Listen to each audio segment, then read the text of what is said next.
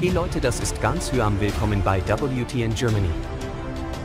Der Ex-Tennisstar will erreichen, dass ein TV-Beitrag nicht mehr gezeigt wird.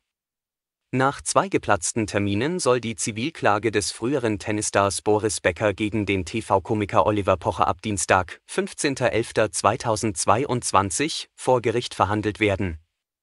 Weder Pocher noch Becker, der aktuell wegen Insolvenzverschleppung in einem britischen Gefängnis sitzt, müssen beim Landgericht Offenburg erscheinen. Offen ist bisher, wann ein Urteil fallen wird. Becker will erreichen, dass Pocher einen Fernsehbeitrag aus der RTL-Sendung Pocher, gefährlich ehrlich, nicht mehr zeigen darf. Darin hatte Pocher den Tennissportler hinters Licht geführt. Unter dem Slogan Make Boris Rich Again wurde ein Spendenaufruf gestartet.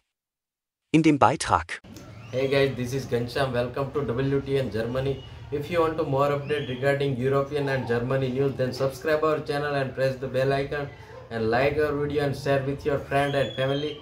Thank you very much for watching our video. Thank you.